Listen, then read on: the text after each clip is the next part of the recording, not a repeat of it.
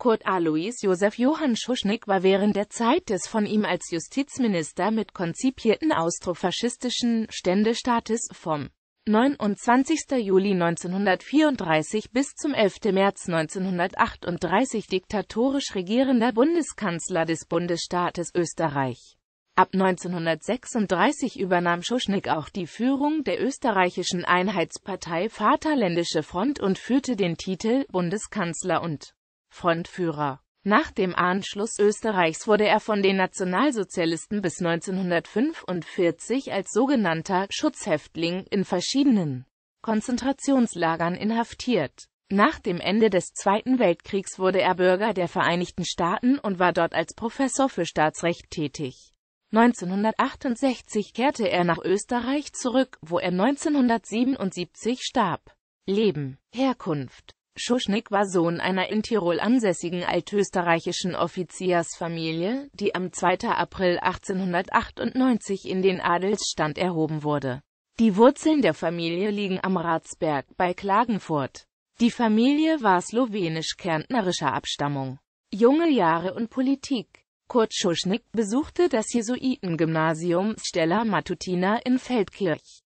Nach dem Studium der Rechtswissenschaften an den Universitäten Freiburg im Breisgau und Innsbruck eröffnete er 1924 eine Rechtsanwaltskanzlei. In Innsbruck war er seit 1919 Mitglied der katholischen Studentenverbindung AV Austria Innsbruck damals im CV, heute im ÖCV. Weiter war er einer der Stifter der K. A.V. Reno Danubia Innsbruck. Gleichzeitig engagierte er sich auch in der christlich-sozialen Partei. Von 1927 an war er der jüngste Abgeordnete im Nationalrat. Da er der Heimwehr misstraute, gründete er 1930 einen eigenen Kampfverband, die betont katholischen und antisemitischen ostmärkischen Sturmscharen. 1926 heiratete er Herma Maserat, mit der er einen Sohn hatte. Sie verstarb am 13. Juli 1935 bei einem Autounfall in der Nähe von Pichling bei Linz. Justizminister gegen die Demokratie 1932 wurde er Justizminister im Kabinett von Bundeskanzler Karl Buesch bzw. in der Bundesregierung Dolfussi. Schon damals wurde in der Bundesregierung offen über die Beseitigung der Demokratie diskutiert. Schuschnigg wird im Protokoll des Ministerrats vom 17. Juni 1932 unter Vorsitz Dollfuß mit der Wortmeldung erwähnt die Regierung stehe vor der Entscheidung, ob sie es weiter verantworten könne, mit dem Parlament zu arbeiten und ob der nächste Kabinettswechsel nicht gleichbedeutend mit der Ausschaltung des Parlaments sein müsste. 1933 wurde Schuschnigg zusätzlich Unterrichtsminister. Die 1920 abgeschaffte Todesstrafe wurde auf sein Betreiben mit dem Standrecht vom 11. November 1933 wieder eingeführt.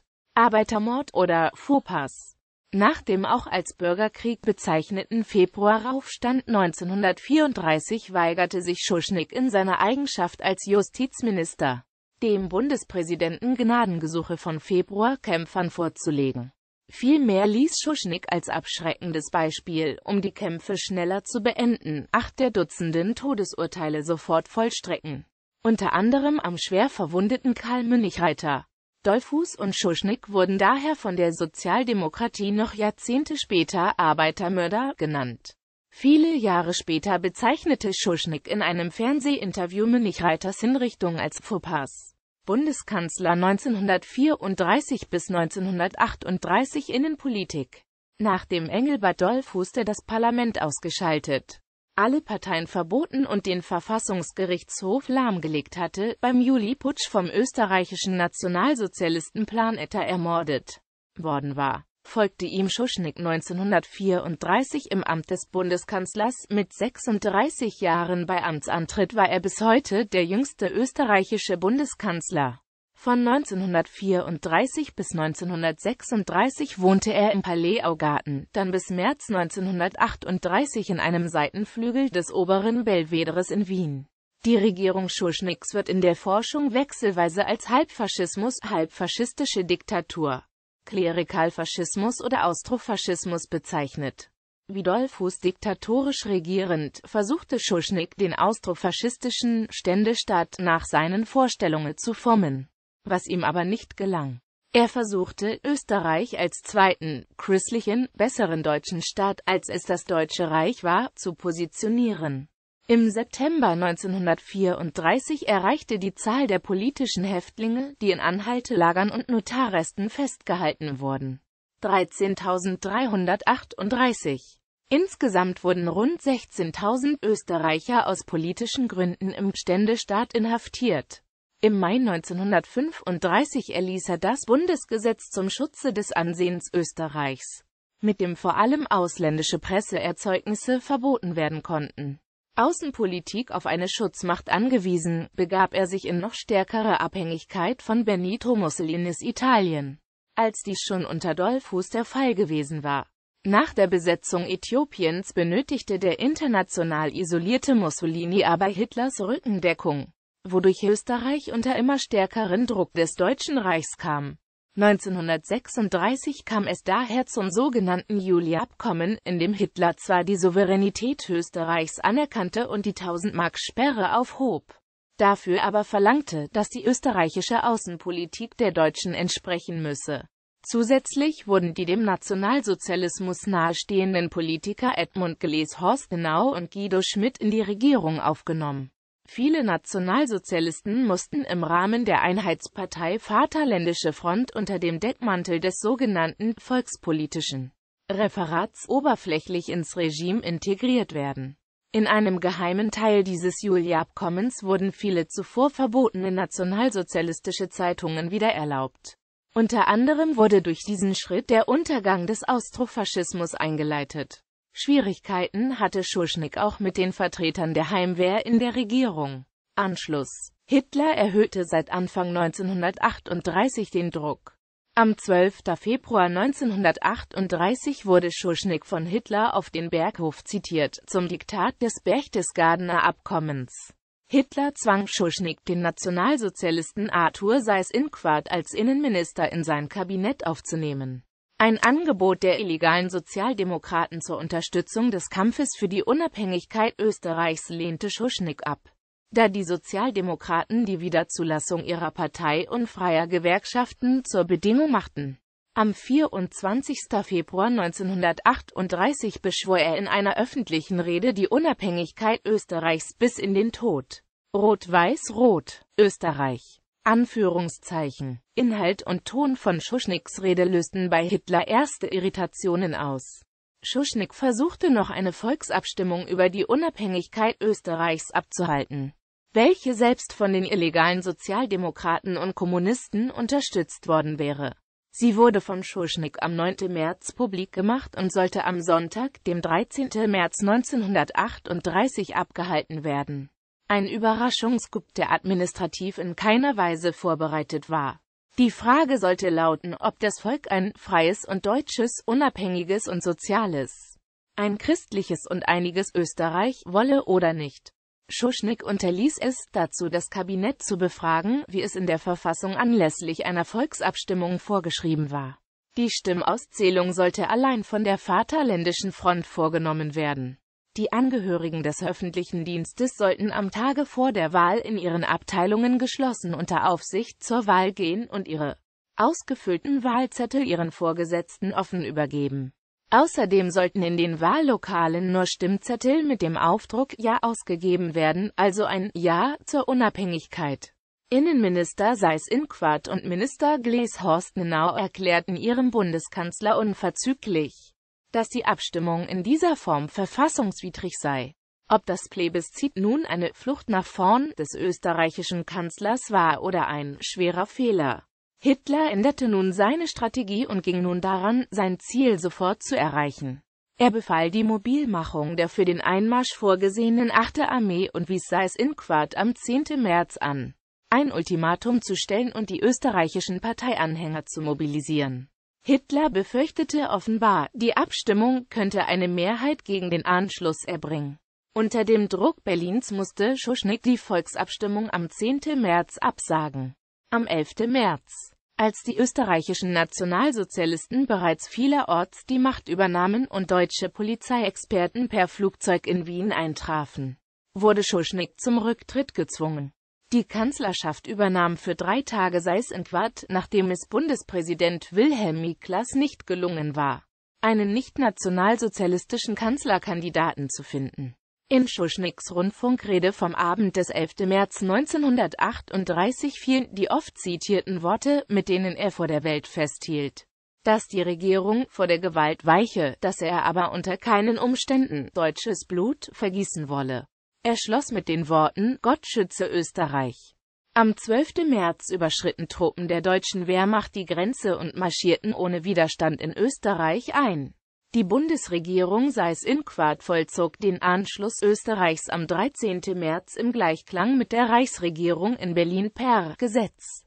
Bundespräsident Miklas wollte dieses Gesetz nicht unterzeichnen und trat zurück, da die Rechte des Bundespräsidenten in diesem Fall auf den Kanzler überging unterzeichnete es Seyß-Inquart als Staatsoberhaupt und als Bundeskanzler, beide Ämter gingen durch das Gesetz unter Häftling der Gestapo in Wien. Schuschnigg stand von nun an im Belvedere unter Hausarrest und wurde ab Ende Mai von der Wiener Gestapo im ehemaligen Hotel Metropole, dem Wiener Gestapo-Hauptquartier, inhaftiert. Kurz darauf heiratete er als Häftling in zweiter Ehe Wer A. geborene Cezernin von Schudenitz. Sie war 1937 von Leopold Graf Fugger von Babenhausen geschieden worden, die Ehe war außerdem kirchlich annulliert worden. Mit Vera hatte Schuschnigg später eine Tochter. Die Haftbedingungen waren in Wien schlecht und schikanös. Außerdem galt Schuschnigg als suizidgefährdet, weshalb er ständig beobachtet wurde. Als er im Herbst 1938 nach München verlegt wurde, wog der 1,83 Meter große Schuschnigg knapp mehr als 40 Kilo. Schuschnigg wurde im Reichssicherheitshauptamt in der Prinz-Albrecht-Straße in Berlin verhört und danach in mehreren Konzentrationslagern. Inhaftiert erst in Dachau, dann in Flossenbürg und ab 1941 schließlich Sachsenhausen. Im KZ Sachsenhausen durfte er in einem separaten Haus leben, wohin ihn seine Frau und seine Kinder, die nicht inhaftiert waren, begleiteten. Wie anderen inhaftierten wichtigen Politikern, Sozialisten und evangelischen Kirchenführern wurde Schuschnigg prominenten Status zuerkannt, der bevorzugte Behandlung bzw. einige Hafterleichterungen bedeutete. Eine sogenannte Ostarbeiterin besorgte den Haushalt und begleitete Schuschnigs Frau zu Einkäufen in die Stadt. Schuschnigs Sohn Kurt ging täglich aus dem KZ Sachsenhausen ins Gymnasium und nächtigte später während seines Marinedienstes im Urlaub bei seinem Vater. Das Zugeständnis, mit dem Häftling leben zu dürfen, setzte bei der Familie die Bereitschaft voraus, über das KZ und den Aufenthalt Schuschnigs absolutes Stillschweigen zu bewahren. Schuschnigg hatte angeblich auch die Möglichkeit, seine Möbel und seine umfangreiche Bibliothek in das von ihm bewohnte Haus im KZ bringen zu lassen. Die Ernährung soll aus Diplomatenverpflegung mit täglich einer Flasche Wein bestanden haben. Diese Vergünstigungen wurden in Hinblick auf den nach dem Endsieg geplanten Schauprozess gegen Schuschnigg gewährt. Der internationalen Nachkriegsöffentlichkeit sollte damit die Großzügigkeit des Dritten Reiches selbst gegenüber seinen Feinden bewiesen werden. Am 24. April 1945 wurde Schuschnigg mit über 130 anderen prominenten Sonder- und Sippenhäftlingen aus dem KZ Sachsenhausen evakuiert. Unter dem Befehl von SS-Obersturmführer Edgar Stiller und SS-Untersturmführer Bader, die den Auftrag hatten, die Gefangenen im Zweifelsfall zu liquidieren, brachen sie mit Bussen und Lastwagen zu einer Odyssee in die Dolomiten auf. Im Südtiroler Niederdorf zwang am 30. April der Wehrmachtshauptmann Wichert von Alvensleben mit seiner Kompanie die SS zur Aufgabe und zum Abzug. Mit den anderen zusammen wurden am 4. Mai 1945 Schuschnigg, seine Frau Vera und Tochter Elisabeth von den Amerikanern endgültig befreit. Amerikanischer Staatsbürger 1948 übersiedelte Schuschnigg von Italien in die Vereinigten Staaten und wurde Professor für Staatsrecht an der St. Louis University, Missouri. Er erwarb auch die amerikanische Staatsbürgerschaft. 1968 kehrte er nach Österreich zurück, betätigte sich aber nicht mehr politisch. Schuschnigg verbrachte seine letzten Lebensjahre in Tirol. Nach seiner Rückkehr wurde Schuschnigg für den Bruch mit der demokratischen Verfassung von 1920 29. den er schon als Justizminister unter Engelbert Dollfuß systematisch herbeigeführt hatte, von der österreichischen Justiz nicht zur Verantwortung gezogen. Die Bereitschaft, sich mit seinen politischen Entscheidungen bis 1938 kritisch auseinanderzusetzen, blieb gering. Schriften Dreimal Österreich Verlag Thomas Hegner, Wien 1937 Ein Requiem in Rot-Weiß-Rot Aufzeichnungen des Häftlings Dr. Auster Amstutz Zürich 1946 Österreich Eine historische Schau Verlag Thomas Morus Sahne 1946 im Kampf gegen Hitler. Die Überwindung der Anschlussidee. Amalthea Wien 1988 ISBN 3-85002-2560. Dieter Binder sofort vernichten. Die vertraulichen Briefe Kurt und Vera von Schuschnigg 1938 bis 1945. Amalthea Wien 1997 ISBN 3-85002-3931. Film das Schicksal der sogenannten prominenten Sippenhäftlinge U.A. Auch Schuschnigs kurz vor Kriegsende wurde in einer zweiteiligen ZDF-Arte-Drama-Dokumentation Wir, Geiseln der SS verfilmt, die in zwei Teilen zu je 52 Minuten am 7. April 2015 in Arte und am 14. April 2015 als 45-minütige Zusammenfassung Wir Geiseln der SS-Odyssee vor Kriegsende im ZDF zum ersten Mal ausgestrahlt wurde. Für den ORF wurde eine 90-minütige Version erstellt, die am 10. April 2015 Premiere hatte